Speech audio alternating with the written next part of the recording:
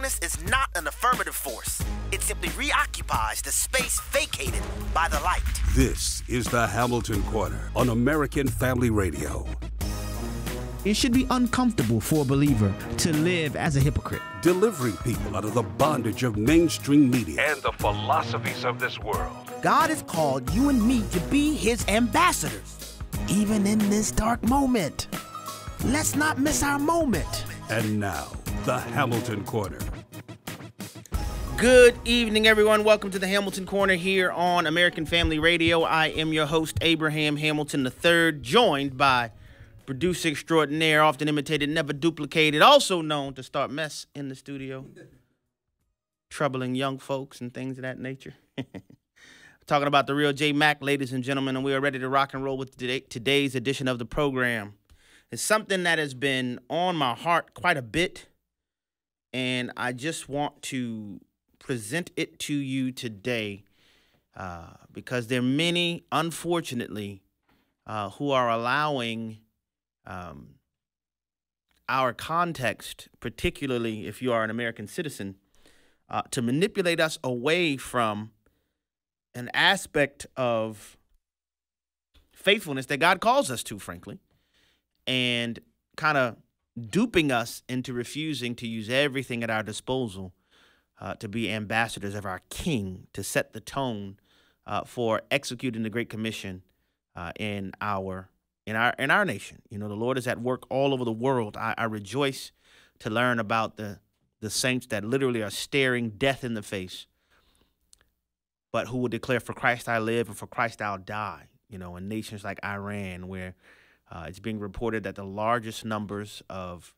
uh, conversions are taking place. It's amazing uh, what's happening in China. It's amazing what's happening in Nigeria and in Sudan and you know the gospel is exploding uh, in Puerto Rico. You know, uh, we my wife and I stay plugged into what's going on in the Spanish speaking parts of the world. Um, it's it's amazing what God is doing all over the world, all over the world. But the Lord is also at, at work here in America. I want to talk about that uh, a little bit and to just uh, remind us of our assignment. At this very moment, many of you, if not most of you, are making your transition from your part time jobs where you generate an income to your full time jobs. And that is cultivating an outcome. As you do so, I want to remind you to do it with intentionality, understanding the primacy that God places on family, welcoming His view to guide us and to instruct us in terms of what our view should be, and then welcoming His view to direct our engagement. It's we will never, ever, ever be able to out politic or even out church deficiencies in the home. By God's grace, let us turn our homes uh, into sanctuaries for His presence, and it we come in in that our homes become uh, discipleship station number one, starting in our own homes and working outward from there. That is what we have the opportunity to do, and there are lots of things that we can do, but this one thing Jesus instructed us to do: to go into all the world making disciples of all nations, teaching them to obey everything that he has commanded us. With that, let us turn to the word of God. Matthew chapter 5 is where we're going to go today. Matthew chapter 5, we'll have some additional cross references throughout the show. Uh, but Matthew chapter 5, uh, verses 13 through 16 is where we're going to begin the program. This is uh, the longest recorded sermon of Jesus, the Sermon on the Mount there's an aspect there, and this these are the, the verses where we get the description of the believer's salt and light duty. All right. This is what the word of God says. You, excuse me, are the salt of the earth. But if salt has lost its taste, how shall its saltiness be restored? It is no longer good for anything except to be thrown out and trampled under people's feet. You are the light of the world. A city set on a hill cannot be hidden, nor do people light a lamp and put it under a basket, but on a stand. And it gives light to all in the house. In the same way, let your light shine before others so that they may see your good works and give glory to your Father who is in heaven. The conclusion of verse 16 there is the objective. The result of our fulfillment of salt and light duty is that our Father, our Heavenly Father, is glorified. Let me take a few steps back. Straight away in verses 13 and 14, you are the salt of the earth, you are the light of the world. I've explained this before, but you there in both verses is plural. All right? It's plural. It's a reference to the people who are immediately present when Jesus is delivering the Sermon on the Mount. But it also applies to the disciples who would come to know Jesus Christ. That salt and light obligation is a pluralized Christ follower obligation. Every believer has the responsibility of being salt and light. Many of you know this. Uh, what I'm about to say next, first and foremost, salt is a preservative agent. You know, before the wonders of refrigeration, the innovation that allows things like, first and foremost, uh, central air condition, air conditioning, and and refrigeration, where we can store our food thing, foods and things of that nature. In Jesus' day, salt was employed in for se- in several ways, but one of the ways it was employed was as a preservative agent. All right, it was used to preserve the integrity of various, various, various proteins. I'm going to cross-reference the scripture in a moment about that. In addition to being a preservative agent, it also functioned in a way similar to way to the way salt is used today, uh, as a seasoning agent for various various food. Uh, light in verse 14, and y'all have heard me say this. Light is a force of power. It is an affirmative force. You've heard me explain. Darkness is not an affirmative force. Darkness merely reoccupies the space that is vacated by the light. All right? This is something we know intuitively. I've, I've stated this before uh, because none of us goes home at the end of a long work day and say, hey, honey, would, would you turn the darkness off? No, we don't do that because we know intuitively that light is affirmative. Darkness is not affirmative. Darkness merely is a reoccupant. Now, the thing about darkness is that it has a robust marketing department.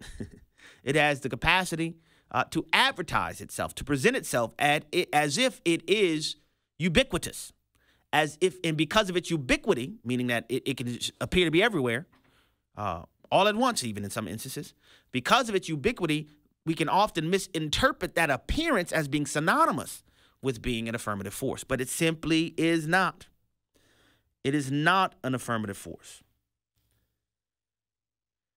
Jesus explained in the sermons that if salt has lost its savor, if salt has lost its, its, its saltiness, what's, what is it good for? It's good for nothing. In order for salt to have efficacy, its saltiness must persist.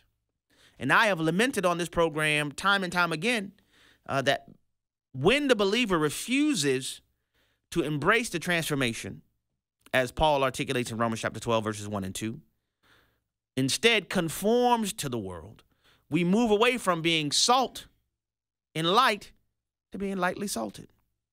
You know, we become a worldly Christian, as if that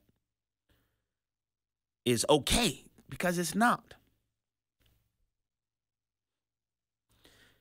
Concerning the light, Jesus goes on to explain the purpose of the light and what it's supposed to accomplish. You are the light of the world. Jesus immediately turns to a metaphor, a city that is set on the hill. And Jesus says it plainly a city that is set on the hill cannot be hidden. Doesn't, doesn't say it, it, it tries to hide. No, it cannot be hidden because of its posture on the hill. And then he explains, returning to the light, nor do people light a lamp and put it under a basket. When Jesus refers to a lamp, he's referring to what was often employed in the first century where you would have a, a, a, a candle of some sort combined with oil of some sort and explaining his awareness of the first century home that if you have light, most likely produced by the fire that you have ignited and are attempting to preserve and extend, if you have it, you would not be content with having a self centered or self exclusive exposure to this light. You wouldn't put it under a basket for merely personal con- consumption, personal illumination, and personal warmth. Jesus, continuing this metaphor, said, No, but you would put the light on a lampstand. Again, understanding the first century home, first century Jewish home, that the utilization of the light, placing it on, the on the lampstand, it becomes maximally, maximally beneficial, not only for the one who ignited it or who had it personally, but it becomes maximally beneficial to all in the house.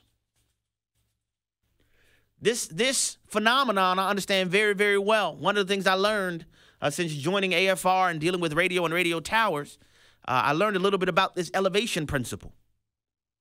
Many of you may remember the, the old school Verizon commercials. Can you hear me now? Good. You know? And then you had other, you know, cell phone companies trying to say, hey, you should consider working with us. And what was their advertisement line?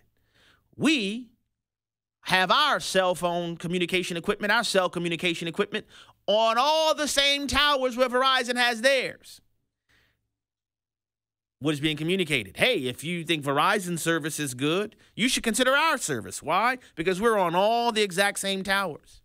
And that advertising messaging it's a wee, a wee little bit deceptive. Deceptive, love. It's a wee little bit deceptive. Why is it deceptive? Because when they tell you they have their cell communication equipment on the same towers as, as Verizon, they're really not telling you anything. Because anybody who deals with cell towers and radio towers, what what they will communicate to you is that the benefit of being on a cell on a cell tower has nothing to do with simply being on the tower. The question you want answered is that what is your elevation on the tower? There's a whole industry called the tower business, the tower industry, to where tower owners rent space on their tower. You want to guess which space on the tower is the most expensive? Huh? You want to guess? You want to guess, Jeff? The, the space on the towers that's the most expensive are the highest spots on the tower. Why? Because the higher you are on the tower, the less likely it will be for your communication signals to be intercepted. The lower you are on the tower, the more likely you are to suffer all manner of interference. Hence, Verizon's initial advertising. Can you hear me now? Good. Saying that we, we can be anywhere on the on the world, in the planet, and you're gonna get our communication. Why? Because we got our communication signals at the top of these towers. This is the principle that Jesus was explaining. It's not enough. It's not sufficient for you alone to have the light. Praise God that you have the light. Praise God that you have the lamp. Praise God that you have illumination. Praise God that you have warmth. But the Christ follower's task is to not just have the light, have the illumination, and have the warmth, but to put it on a lampstand, to put it at the highest elevation possible so that it could be a benefit to the largest number of people possible. That is what Jesus is attempting to communicate these this dual function, salt and light, functioning, you know, as a preservative agent. We who are believers in the 21st century, we have inherited the gospel that has been passed on to us intact by the grace of God. What a miracle it is.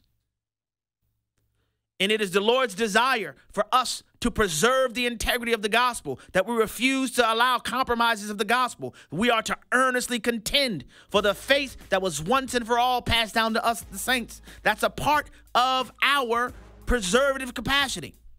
That just as the Orthodox Christian faith, the authentic biblical gospel, has made its way to us, we have a duty to preserve that. But that's one part of the Salt and Light mission. We also have the light responsibility, the affirmative, advancing, invading component. To where we let our light so shine among men so that they glorify our Father in heaven, so that the gospel is proclaimed to the entire scope of this world. That is a part of the light function. The disciple making is a part of the light function, salt and light.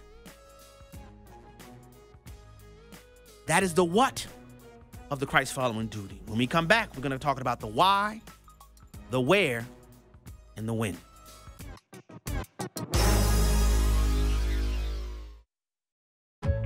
Little did you know that the same legal terminology, the same legal terms that we use today, uh, probable cause, just cause, there's multiple ways to describe it, but David uses that same terminology. How do we know what's just? Well, we know what's just by looking at God's Word. That's where we get our ultimate definition of justice from. AFA at the Core with Walker Wildmon. Weekday afternoons at 1 Central on American Family Radio. Sometimes shortcuts are not wise. If that's true physically, how true that might be spiritually. I think all of us have shortcut stories, you know? yeah. But there's some you don't want to shortcut when it comes to getting to God, do you? There is no shortcut to God, it's only through Jesus. Exploring Missions with Bert and Nathan Harper. Saturday afternoons at 2:30 Central and Sundays at 1 Central on American Family Radio. Let's think about what God has done. I would wager that his top news story is still that the free salvation through the blood of Jesus Christ is available to all. I wager that will be the top news story until that salvation is no longer available. You will have made your decision for eternity. He doesn't ask us to do anything he won't, and then he does above what we can possibly do. Hear Todd Herman on A Disciple's View, weekdays 12 p.m. Central on AFR.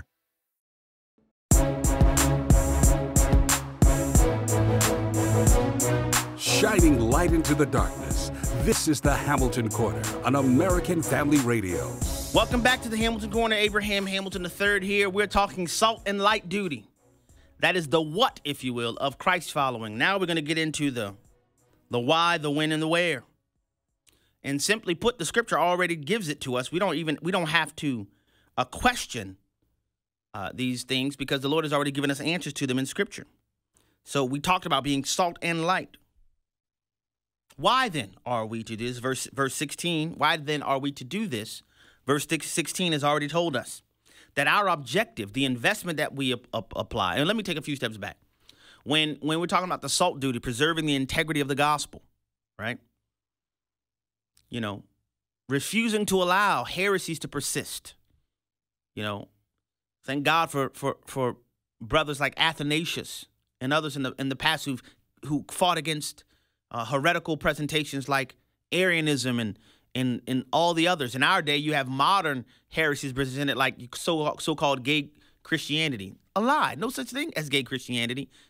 No more than there's something called murderous Christianity, lying Christianity, thieving Christianity, adulterous Christianity. You know, it's absurd. fr- frankly, it's absurd that one would attempt to define being a follower of the way by a particular sin proclivity. It's heretical.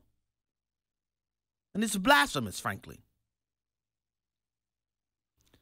That's an aspect of contending for the faith that's been once and for all passed down to the saints. The Apostle Paul explained by the Spirit of God that the Lord ordained his church to be the pillar and ground of the truth.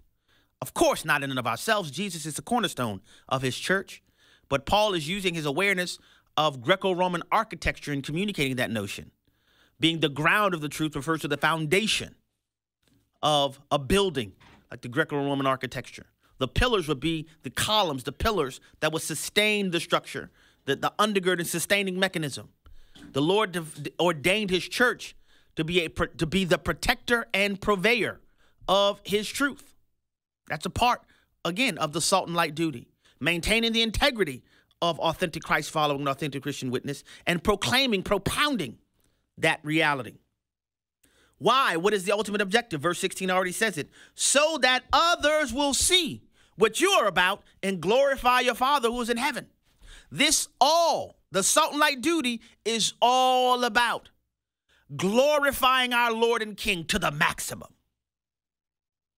Our objective when we're contending for the faith that's been once and for all passed down to the saints, when we're proclaiming his gospel, living his gospel, it's in the forefront of our minds at all times is the glory of our Lord. That's the why. So that the Lord will be glorified. It's not for the purpose of merely being argumentative for being the sake of being argumentative or just being opposite, opposite for the sake of being opposite. No, the Lord is the one who's ordained us to be peculiar. So our quality of peculiarity gives him glory.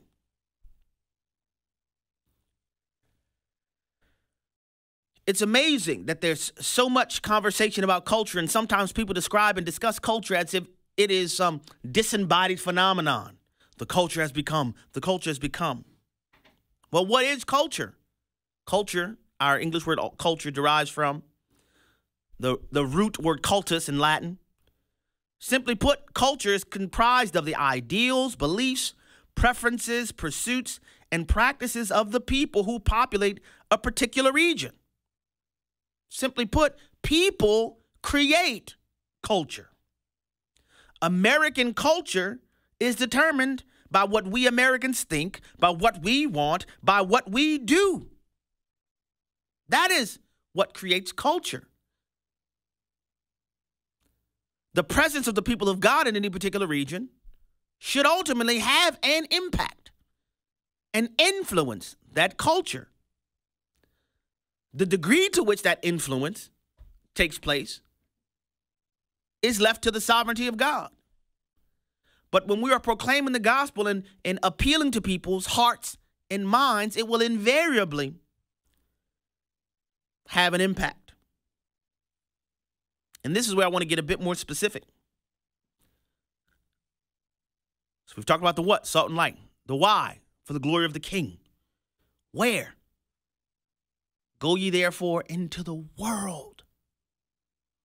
It's the King of Kings' desire that his ambassadors carry his gospel and make disciples in his name all over the world.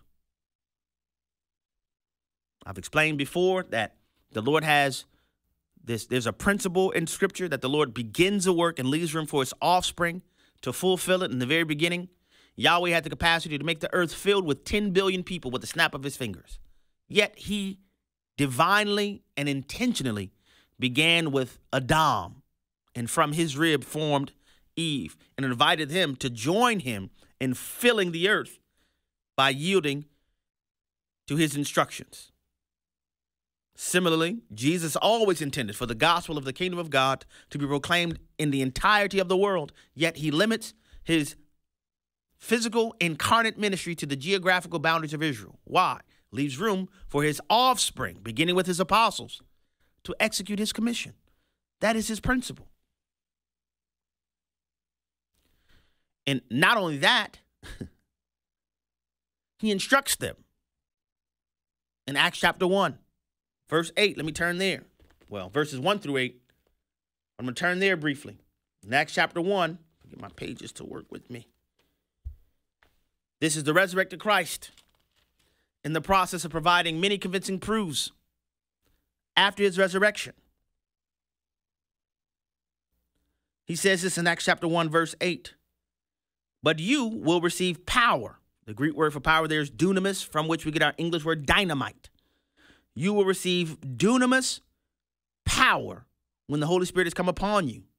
And you will be my witnesses in Jerusalem and in all Judea and Samaria and to the end of the earth. Jesus told his apostles, You will be endued with dunamis, dunamis power, by Holy Spirit and you will be my witnesses. I've explained before the Greek term for witness there is martyrs, from which we get our English word martyrdom from. Most often we think about a martyr being someone who loses their natural lives in furtherance of a cause. I understand that explanation, but martyrdom biblically is becoming the living dead. You will be endued with power, dunamis power, to be my witnesses, becoming the living dead, dead to your own objectives, own prerogatives, own agendas, and alive to the agendas of Christ, to the agenda of Messiah. Being witnesses is a state of being, not merely an activity. That's why he said, You will be my witnesses. Being a witness is a state of being. That's why we are called to be witnesses when we're on stage in front of people, when there's lights, camera, action, and we're called to be witnesses when there's no one around. And it's just us, our computer screens, and the Holy Spirit because He's always there. We're called to be His witnesses. Being witnesses includes various activities like evangelism. The Greek word there is euangelion, the proclamation of the availability of the free gift of salvation as a result of Messiah's atoning sacrifice. As a witness, we do other things to obey our king. But the doing should flow from being, from the state of being as a witness. And you'll notice when Jesus explained that you'll be endued with power, you'll be filled with power by the Spirit, it's not merely a filling for consumption. Ooh, they sure feel good. They feel good. No, it's a filling for function. The Lord has given us His Spirit for functionality. You will be endued with power for the purpose, for the function of being His witnesses. Then you we cross-reference this command to be, or should I say this description of what we would be as witnesses, with the command in Matthew 28. And then we'll go back to Acts 17. I know this is a lot of scripture, but this is very, very important. Because the same Messiah in resurrection, post his resurrection, gathers his apostles again. Well, Matthew's recording this. In Matthew 28, he says, simply put, all authority in heaven and on earth has been given to me. Go therefore and make disciples of all nations, baptizing them in the name of the Father and, and of the Son and of the Holy Spirit, teaching them to obey all that I have commanded you. And behold, I am with you always to the end of the age. It's a great commission. Jesus says, All authority is mine. Therefore, you go. Whose authority? Upon which do we go to execute his commission? It's his authority. It's not ours. We go because he said so. We go expecting effective witnessing because he said so, because it's his authority that we go in. Then he explains what we do making disciples of all nations. The Greek word there's ethnos, of all people groups. Ain't nobody safe. Everybody can get it. Baptizing them in the name of the Father and of the Son and the Holy Spirit. The touchstone of disciple making is obedience. Teaching the disciple to be obedient as the discipler is striving to be obedient in all manner. Christ following is a comprehensive faith. Every aspect of our lives should be subjected to the lordship of Christ.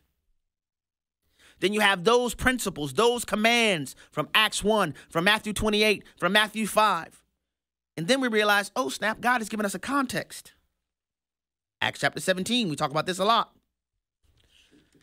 Acts chapter 17.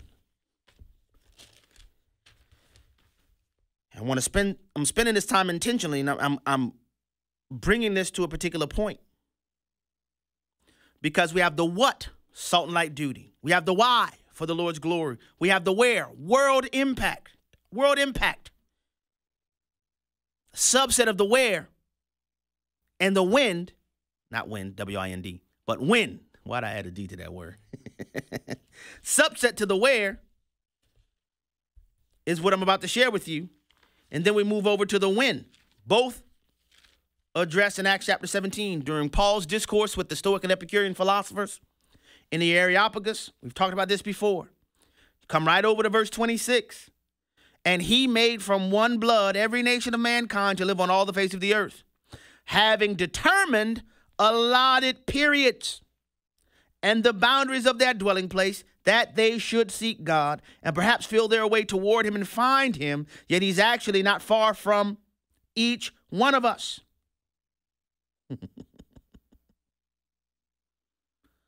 subset of the where, world impact, but each disciple has been given a context in which we are to execute the what with the why and the where. He made from mankind one blood. I'm sorry, he made from one blood every nation of mankind. Same term, ethnos.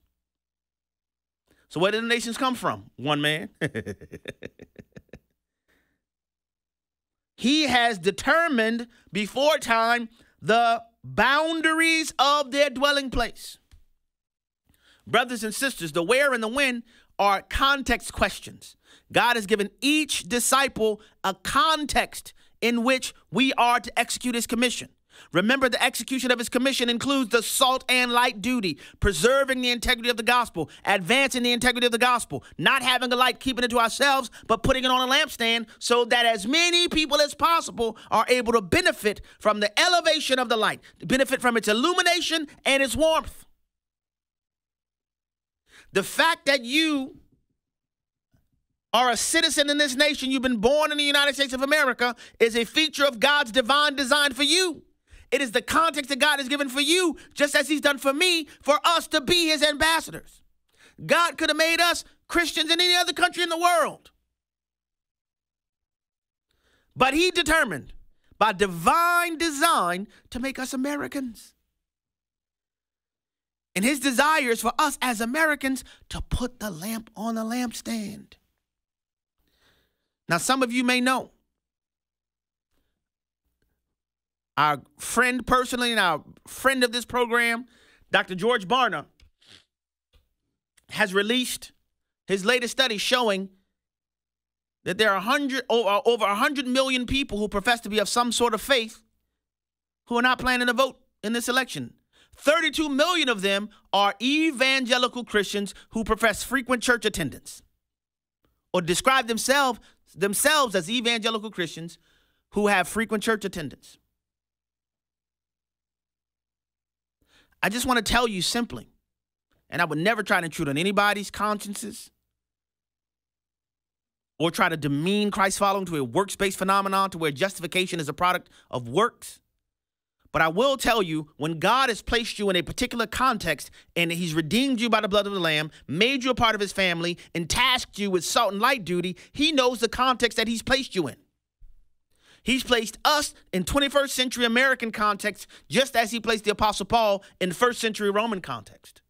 And the Lord expects no less of us as 21st century Americans than he expected of the Apostle Paul in terms of using everything at our disposal within our context to put the light on a lampstand. If you've been listening to this program any length of time, you know better than anybody, I would never tell you that the Lord will deliver his people through politics. Never will you hear me say that. What I will tell you, however, is that God in his sovereignty has afforded you and I this particular American context in which to be his ambassadors. We've talked before, and I would talk about it now. The Apostle Paul used everything at his disposal, including his Roman citizenship, to put the light on the lampstand. We've explained before how the Apostle Paul, knowing his adjudication rights and the, the laws of appellate courts in the Roman Empire, being persecuted and prosecuted on trumped up charges, initially goes to Jerusalem, appeals according to the law from Jerusalem, goes next to Caesarea Philippi. Exhausting his appellate rights, he ultimately appeals to Caesar in Rome. That caused even the lower level judiciary to wonder, man, if this guy had not attempted to exhaust his appeals, we could have set him free. More when we come back. What do we mean America is a Christian nation? Our founders recognized that our rights come from God, our Creator, not our government. And the sole purpose of government is to preserve and protect those rights. Why America is a Christian nation with Jenna Ellis. Our government is founded on Judeo Christian values. Learn more and share the news with the DVD at resources.afa.net. That's resources.afa.net. Sometimes I'm not a very good Christian, and the Lord still seems to love me and do good things for me. Grace is an outside force that works good in my life rather than good pouring forth from what I do. For the law was given through Moses, grace and truth were realized through Jesus Christ. In my own spiritual life, I'd much rather ask a loving Savior to take control. I'm Ed Vitagliano, and you can read the rest of For the Grace of God Has Appeared at thestand.net.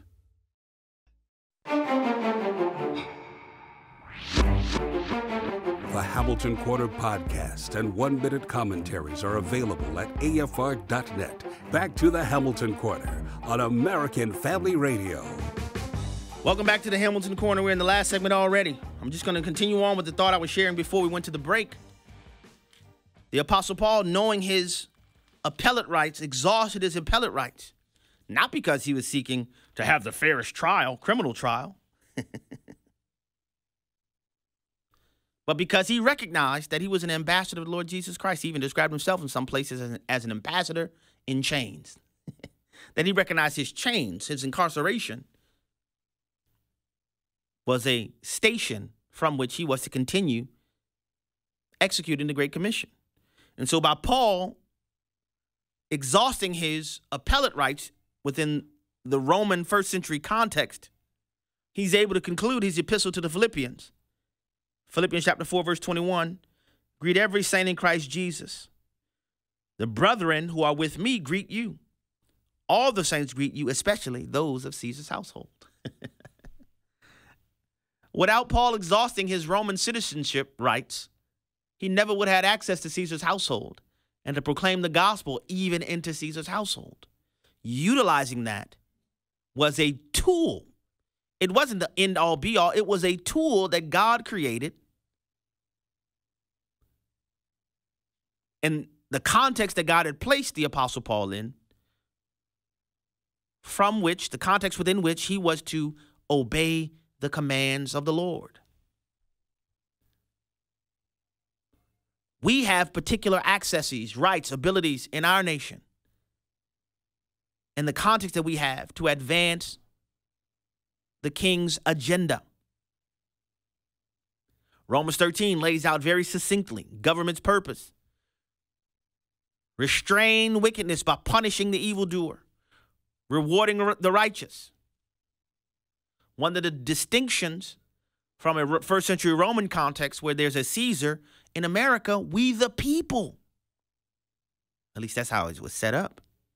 But much of what has transpired has been the product of many of the American citizens forfeiting what is available to us, including many professing Christ followers, and abdicating the functions of what God ordained to be his minister to punish, to punish wickedness and say, oh, that's messy business. Listen, man, Christ following is messy business. Making disciples is messy business. God is the one who ordains our context. Can you imagine Daniel saying, Oh, no, Lord, I don't want to participate in obeying what you've commanded me through all of the prophets, Jeremiah, Habakkuk, Zephaniah, all the prophets, you know, because Babylon is messy business. Yes, messy business. The world is messy business because of the sinful fallenness of man. But God has ordained his body to be salt and light.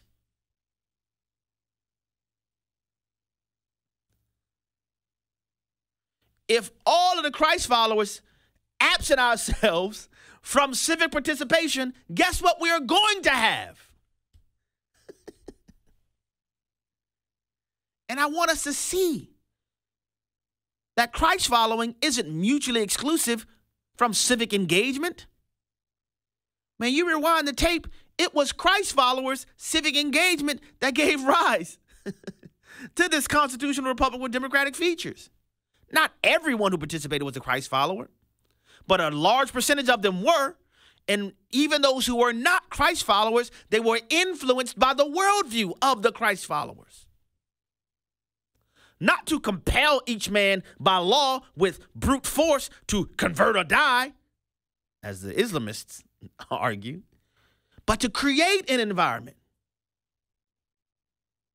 that would allow each man to be drawn to the King of Kings by his Spirit through the faithful obedience of the Christ follower who is on salt and light duty. Do we see that? Do we see that? There's some that say, oh, politics has gotten so messy. It is messy, no doubt about it. That's what happens when we cede this territory to the wicked. In many ways, candidates that are available are a reflection of what's present in our nation. In many ways, the story of America's secularization is the absence and the negligence of the believer over time, over generations. The what? Salt and light duty. the why? For the Lord's glory. Where? Where has He planted you? we have accesses and opportunities and abilities to us that our brethren in other nations don't have.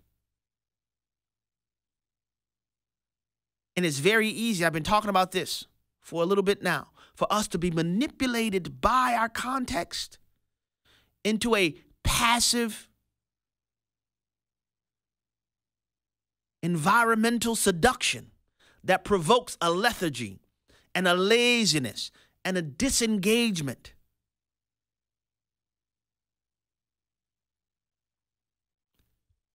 The other aspect of it is the wind. The wind. I keep putting the D on this word. A wind. The wind. Back to Acts 17. He has determined before time allotted periods, the times in which we would live. Guys, the time that we are alive is the time that God has assigned to us. He could have made us believers. You know, with this glorious melanin that I have, if the Lord would have deposited me in the United States of America in, oh, I don't know, 1825, I wouldn't have had the opportunities that I have now. But with the opportunities I have now, God requires of me to put the light on the lampstand. We have the opportunity through civic participation, and make no mistake about it, civic participation is not salvific. But we have the opportunity through civic participation to keep the highways and byways open so that the gospel can be proclaimed.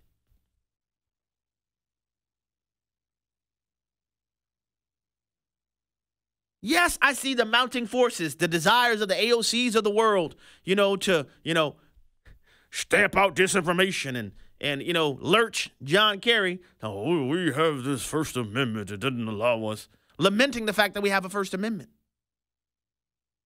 But we have the wherewithal that if the First Amendment is going to be legitimately changed, we have a say. We have a say. But so many are being duped and, and being manipulated away from obedience in the context that God has planted us in, the context that God has planted us in. And we're neglecting an aspect that God has ordained for us to utilize so that we can put the light on a lampstand. To say it differently, we should take advantage of every opportunity and use everything at our disposal to proclaim the gospel and make way for the gospel to be proclaimed. We need to take advantage of every opportunity and utilize everything at our disposal to make disciples and make sure the roadways are cleared, proverbially, to allow disciple making to continue. For too long, we have not utilized the liberties that we've had for God glorifying purposes by and large. I'm not talking about individuals, there's certainly exceptions.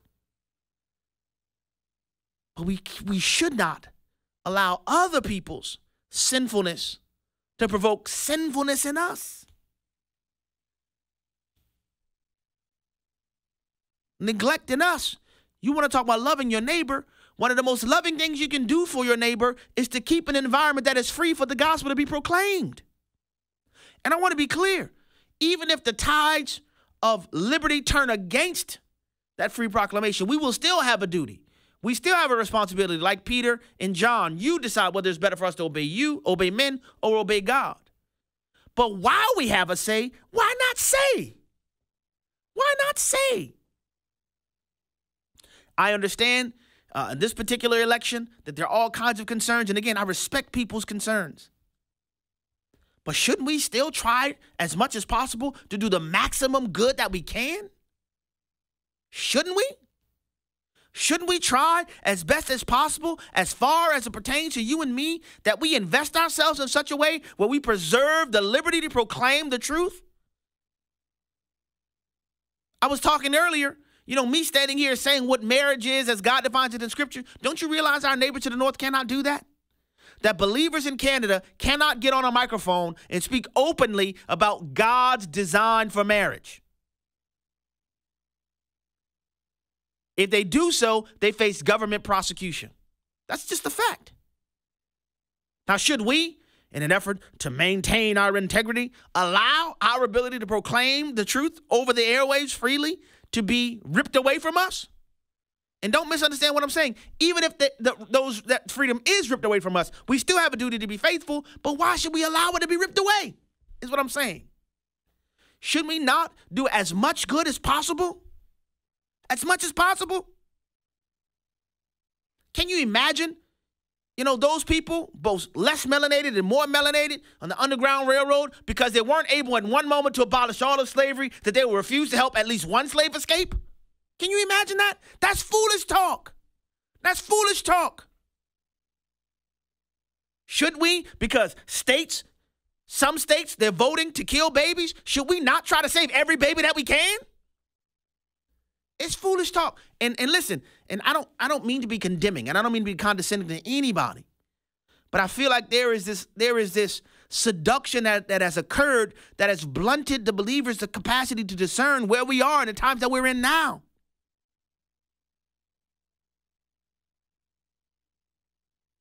My faith is squarely placed in Jesus Christ and Him alone.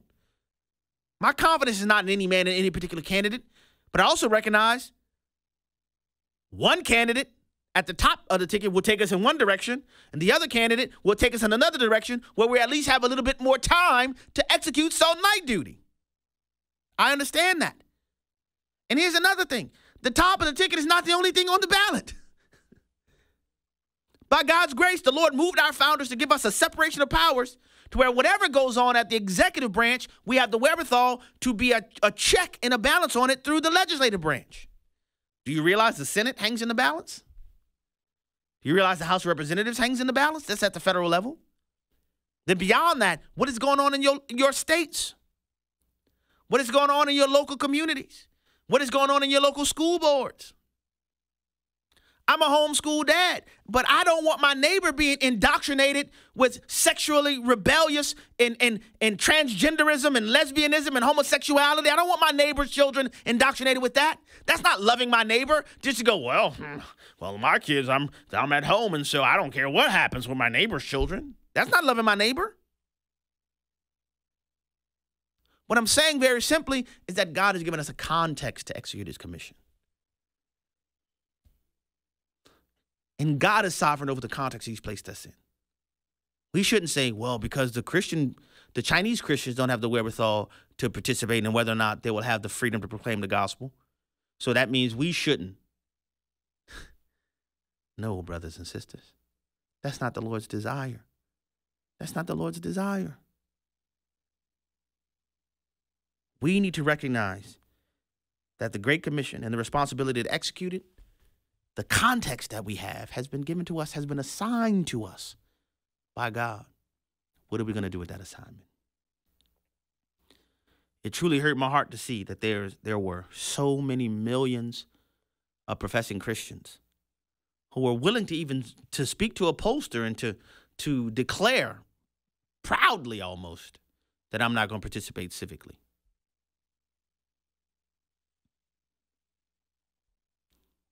Again, I would never try to intrude on anybody's consciences, but I would encourage you to re- revisit the scripture. God is sovereign over your context, not you. You didn't decide you wanted to be born when you were born. You didn't decide you wanted to be alive in the 21st century. And even if you happen to be a legal immigrant to this country, that you didn't just get here on your own, your own strength. God's divine providence allowed for you to be here. I ain't talking to illegals because y'all ain't supposed to be voting anyway. If you're an illegal alien. just just something as, as, as simple as that. Like you had Congress members straight party line vote. A certain party refuses to pass legislation that says, you know what, illegal aliens can't participate in federal elections. What's the harm in that? Unless, unless, and be let me be clear. There's no politician and no election that's going to save us individually. But the Lord does move through governmental processes to give his people time to do what he requires of us. And who knows what will happen with your obedience?